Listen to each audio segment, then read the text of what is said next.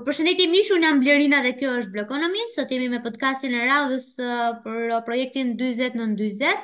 Iniciativë kjo e ndërmarrë nga Blokonomi dhe Woodward Albania.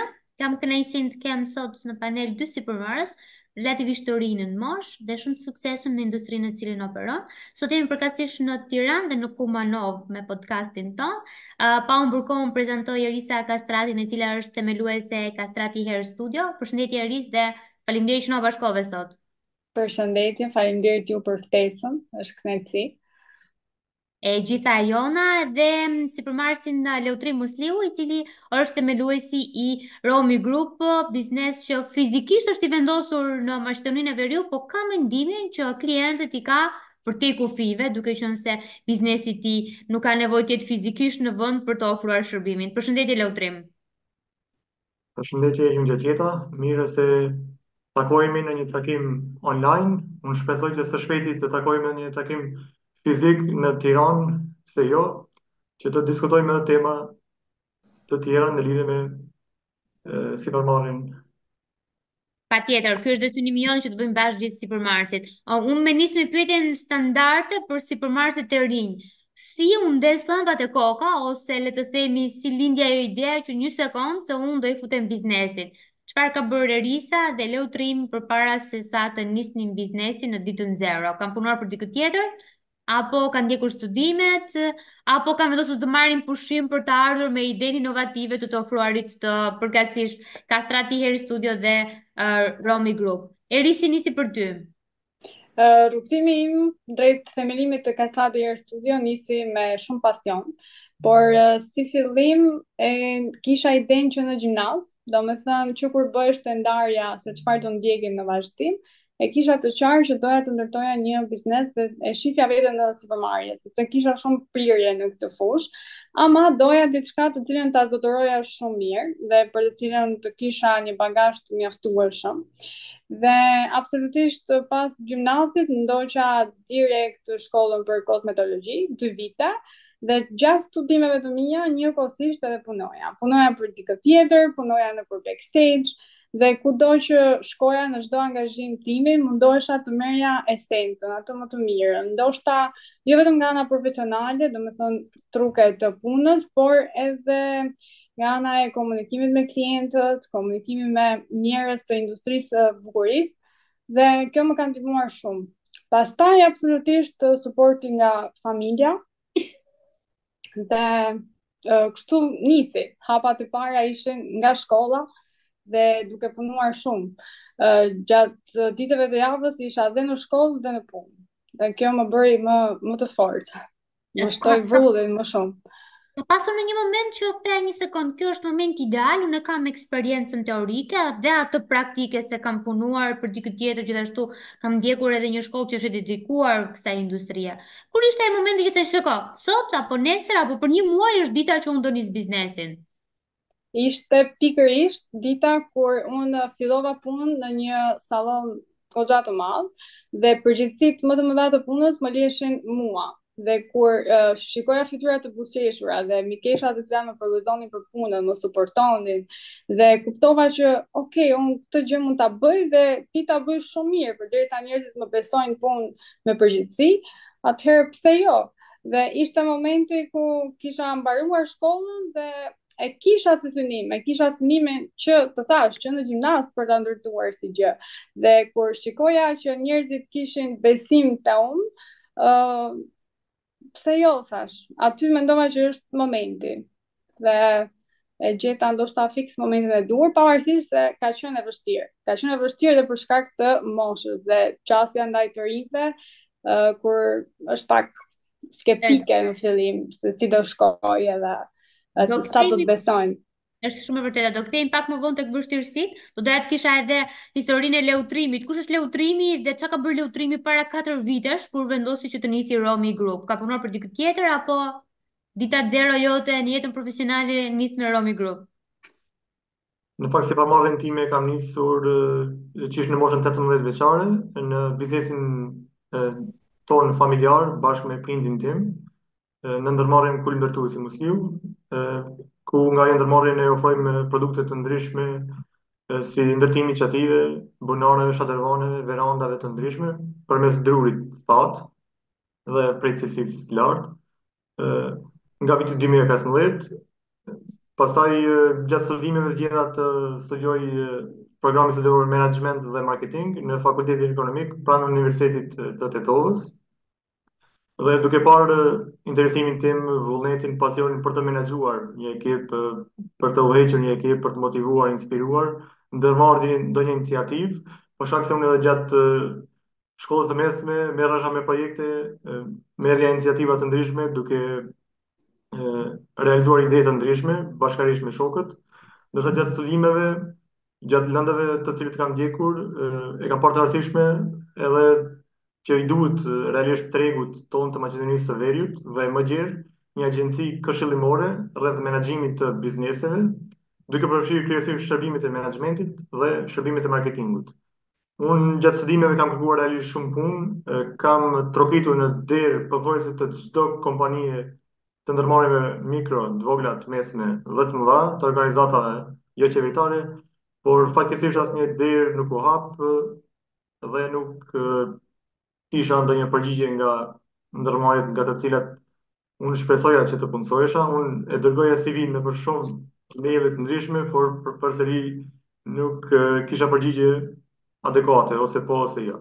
Mm -hmm. Prandaj, unë arrita ta marr guximin që më një janar të vitit 2020 të themeloj fillimisht agjencinë këshillimore menaxhimi i bizneseve, për shkak se në fillim kemi filluar me një gamë realisht shumë më të gjerë të shërbimeve rreth shkencës së menaxhmentit dhe marketingut, ndërsa me kalimin e kohës shërbimet i kemi ndarë tani që e kemi ndryshuar dhe emrin në Romi Group, që... Shumë interesante, do të ndalemi pak më vonë edhe te produktet dhe shërbimet që, që ofron secili prej bizneseve.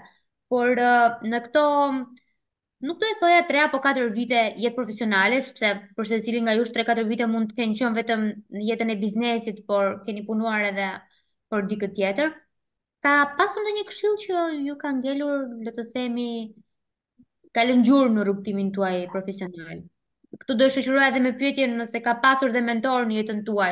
Mentor do specifikoja ish-pedagogen time që më ka ndjekur që në fillim të hapave të mi, edhe deri në inaugurimin e sallonit dhe më tutje madje. Ka qenë e para që më ka dhënë mësimet më më të vlefshme, qoftë edhe hile profesionale. Por që një këshillë e mbaj mend në fakt nga ana e saj, e cila gjithmonë, domethënë, ne kur nisim biznes, është ai fillimi edhe si do shkojë, edhe shikojmë edhe konkurrencën në fakt. Dhe më ka këshilluar që të maksimizoj gjënë të cilën unë e kisha pikë të fortë, dhe të minimizoj atë ato gjëra negative, le të themi, dhe uh, të jap zë dhe të evidentohem për diçka që di të bëj më së miri. Dhe të, nuk ka rëndësi se çfarë bën konkurrenca. Rëndësi ka se për çfarë evidentohesh ti dhe të të të bësh të mundur të ecësh përpara me uh, gjën më të mirë që di të bësh. Nuk është e thënë që të bëjmë çdo gjë, mund të bësh diçka dhe të biesh në sy për atë gjë. Leutrim për ty, këshilla dhe mentori? Unë kam pasur fatin të kem këshilla të ndryshme nga persona të ndryshëm, të cilët kanë pasur shumë ndikim të madh tek unë në jetën personale, por gjithashtu edhe në karrierën profesionale, e sidomos gjatë rrugëtimit tim si sipërmarrës. Unë dua ta veçoj prindin tim, i cili është shumë motivues, inspirues dhe një këshillëdhënës shumë i mirë i cili është dhe një punëtor cilësor efektiv dhe shumë efikas, duke më dhënë një këshillë që kurrë mos ndalo së punuari dhe kurrë mos u dorëzo. Gjithashtu e etiketoj edhe si një mentor timin dhe si një idol timin.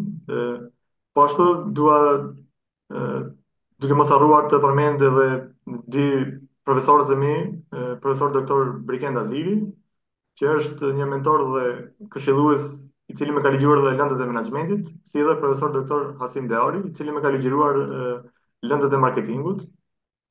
Duket sikur rrugëtimi juaj ka qenë fushë me lule, po jam shumë e sigurt që ka pasur ulje, ngritje, ndoshta mund të ketë pasur ato momente që ju keni thënë një sekond se shumë gjëra për t'u kaluar apo shumë vështirësi të mëdha. Edhe ne na pëlqen të ndajmë edhe t'i bëjmë me dije kujdo që ose e ka nisur ose ka plan ta nisë sipërmarrjen që dështimet janë pjesë e procesit.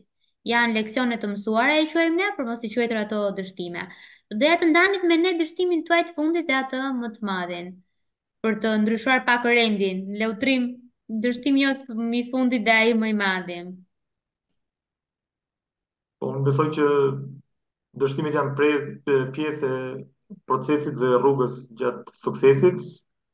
Unë jam ballafaquar si sipërmarrës me shumë sfida të ndryshme dhe dështime të ndryshme, por një që mund ta veçoj që është edhe i fundit edhe që më i madhi, kur kam qenë i angazhuar si mësimdhënës në një institucion publik, është dashur të menaxhoj më mirë kohën për mos arritur të humb disa klientë, të cilët kanë qenë shumë të rëndësishëm për imazhin, reputacionin dhe aspektin financiar të kompanisë tonë. Por unë fokusova më tepër në botën akademike, duke mos angazhuar asnjë staf që të merret me çështjen e menaxhimit të kompanive në kompaninë tonë. Po mund ta quaj edhe këtë si pjesë e devijimit dhe dështimit. Mm. E kemi pritur. Shumë shumë interesant. Do kthehem pak më vonë përsëri Leutrim. Eris për ty dështimi i fundit dhe dështimi më i madh Dështimi më i madh ose vështirësia më e madhe do e quaja ka qenë gjatë sezonit veror të vitit të kaluar, uh, pikërisht nga mungesa e stafit. Mungesa e stafit në një pikë në të cilën të duheshte më shumë dhe kur dalin gjëra të papritura, duhet gjithmonë të menaxhosh se si do veprosh në vazhdim, se nuk ke kohë që të qash hallin dhe ça të bëjmë tani. por të maks kam maksimizuar shumë kohën time, përfshirjen time në punë edhe më është dashur orë ekstra që të mbuloj dhe pjesën të cilën më më penalizonte. Por fatmirësisht nuk zgjati shumë si periudhë, sepse do ishte e tmerrshme. Por prandaj them ishte më shumë vështirësi se sa dështim, por më ka lënë shumë gjurmë në fakt, sepse më bën më mirë për vitin e ardhshëm që të përgatis çdo gjë edhe sikur diçka të ndodhë në momentin e fundit. Dhe unë nuk e kisha planifikuar si gjë më herët. Dhe nuk kisha një plan B, gjithherë duhet të kesh një plan B. Është shumë Është shumë e vërtetë. Dhe në këtë epokë ne po diskutonin dhe pak pak përpara se sa të nisnim podcastin, në këtë epokë është bërë shumë e vështirë për gjetur staf në çfarëdo lloj industrie që të jetë e mundur. Po. A, kështu që e, të mirëkuptojmë edhe e, e, e, jemi i kemi veshur këpucët e tua edhe ne më përpara, kështu që e kuptojmë vështirësinë tënde. Ëm ne e quajmë uh, biznesin një maraton. Po pa një finish line, nuk është se ka një. Në momentin që Mm, ti mendon që arrite në finale, aty sa ke nisur maratonën tjetër, domethënë është maraton pas maratone. Po si qenie njerëzore, ne gjejmë mënyra për të incentivuar apo për të motivuar veten tonë. Ka ndonjë formë se si ju e shpërbleni veten tuaj pas një arritje, pas një sfide të kaluar apo pas një leksioni të mësuar? Eris? Mm, personalisht po, ndonjëherë mjaftojnë dhe gjërat shumë të vogla për të shpërblyer veten, ndonjëherë dhe thjesht një kafe me familjarë apo me miqë, por eh, zakonisht eh, funksionoj kështu, duke vendosur një objektiv në punë dhe në qofë se arrij atë objektiv, atëherë do gjej një destinacion të ri të, për të udhëtuar. Duke qenë se më pëlqen shumë dhe është diçka që vërtet më motivon, duket sikur më, më karikon si gjë. Pra pas çdo milestone-i, shumë interesante. A Leutrim si e shpërblen ti veten pas çfarëdo lloj uh, vështirësie të kaluar apo një një milestone-i të arritur në biznesin tënd? Po realisht unë çdo qëllim që e arrij dhe çdo sukses që e realizoj, unë fillimisht e falenderoj Zotin për të gjitha të mirat që na ka sjellur dhe pastaj mendoj që kjo është një nga shpërblimet më të mira për të për të rimotivuar veten dhe për të vazhduar akoma më më me energji pozitive për të realizuar qëllimet të cilat i synoj. Realisht ka edhe shumë strategji motivimi që përdor për ta shpërblyer veten, si për shembull organizimi i ndonjë takimi me shoqëri, organizimi i piknikëve të ndryshme, duke dëgjuar video motivuese. Të flasim pak për biznesin tuaj, um, produktet dhe shërbimet që ofron në rastin konkret Romi Group dhe Kastrati Hair Studio. Eris? Uh, shërbimet që ofroj në sallon lidhen kryesisht me femrat dhe kujdesin ndaj tyre, duke përfshirë këtu flokët, shërbimin e thonjve, kujdesin për lëkurën, uh, trajtime të ndryshme dhe absolutisht mundohem shumë që të gjitha këto të funksionojnë në mënyrë perfekte dhe menaxhimi i orareve është është totalisht një punë të cilën e ndjek me përpikmëri sepse të gjithë kam fatin që të punoj me femra të cilat do shkojnë në një event apo u duhet diçka për të cilën duhet të ndihen të bukura dhe përveçse të bukura të mos stresohen dhe për kohën. Kështu që e shoh si avantazh faktin që kam disa shërbime ku mund ku një person mund të bëjë shumë gjëra njëherësh pa humbur shumë kohë. Shumë interesante. Uh, industria juaj kohën timing e ka shumë të rëndësishme. Sidomos organizimi i organizimi i, i klientëve apo i, i riskedulimit të tyre. Uh, Leutrim për ty, kur çfarë produktesh ofron Romi Group e përmende pak në hyrje të podcastit? Romi Group si një agjenci e marketingut ofron kryesisht pesë lloje të shërbimeve, siç janë analiza e marketingut, konsulenca e marketingut, menaxhimi i marketingut për biznese, rekrutimi dhe seleksionimi i stafit të bizneseve të ndryshme, si dhe trajnimi online dhe fizik rreth fushës së marketingut digital. Ne folëm për të shkuarën, folëm dhe për aktualen e biznesit tuaj apo të figurës tuaj si sipërmarrës. Ë uh, për të ardhmen, si e shikon Erisa dhe Leutrimi 5 vitet e tyre të ardhshme dhe kur flem kur kur flas për 5 vitet e ardhshme, ë uh, ka ndonjë vizion të qartë për futjen në një biznes komplet të ri, pra në një fushë që ju nuk jeni duke operuar tani, Apo synimi është që të forconi biznesin aktual apo edhe të zgjeroni pikat e biznesit tuaj aktual. Eris, për ty? Uh, për mua, 5 vitet e ardhshme, uh, do jenë, do konsistojnë në faktin e zgjerimeve të shërbimeve në salon, dhe e shikoj shumë uh, pikë të domosdoshme, dhe mendoj që do jenë shërbime të cilat unë deri tani nuk i kam prekur, dhe do më bënin shumë, shumë, shumë të njohur ndoshta dhe do i shtoja pika të forta vetes, por uh, gjithmonë e shikoj në këtë aspekt për t'u zgjeruar më shumë, edhe në staf, edhe në shërbime, pse jo edhe në në lokacione të ndryshme. Why not? Ah, uh, Leutrim, për ty 5 vitet e ardhshme? Në pesë vitet e ardhshme, ne si agjenci planifikojmë që të rrisim gamën e shërbimeve, të ofrojmë shërbime të tjera të reja, të ofrojmë ato shërbime sa më inovative, sa më kreative, të cilat janë në trend me kohën dhe zgjidhin problematikat, sfidat me të cilat ballafaqohen klientët tanë dhe klientët potencialë që në të ardhmen mund të jenë dhe klientë tonë ekzistues. sesionin tim të preferuar të pyetjeve në lidhje me faktin nëse e keni bërë apo jo një nga konstatimet që unë do të them në në vijim dhe e para lidhet me faktin nëse keni menduar ndonjëherë që të hiqni dorë nga biznesi juaj. Eris? Të hequr dorë nuk e kam menduar, ndoshta nga që jam shumë e karikuar me shumë energji dhe jam ndoshta në hapat e parë le të themi se kanë kaluar vetëm 3 vite, por megjithatë, ë uh, për pjesën e 9 me pesë dhe uh, apo sipërmarrjes, do zgjidhja sipërmarrjen, nuk e mendoj dot veten të rri në një vend dhe të kem një orar fiks, jam mësuar dhe e dua shumë orarin fleksibël, të jem gjithë kohës në komunikim me njerëz, nuk më pëlqen shumë puna standarde, një kompjuter para, and that's it. Leutrim, ti ke menduar ndonjëherë të heqësh dorë nga biznesi? Deri më tani, falë Zotit, jo. Shpresojmë që asnjëherë jo. Punë të cilën e bëj më motivon jashtëzakonisht shumë.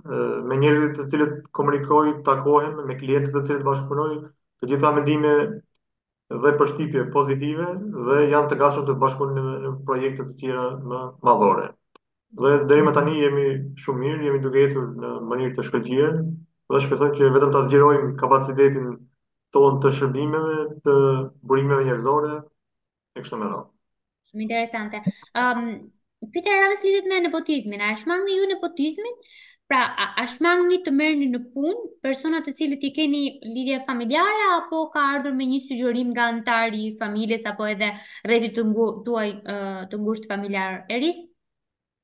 Mm, nuk më pëlqen të flas me absolutizma, por në këtë rast jam bërë shumë e prerë dhe mundohem shumë që t'i shmang, sepse mendoj personale me ato profesionale dhe përderisa e kam në dorë që të kem një stres më pak, mundohem që ta shmang.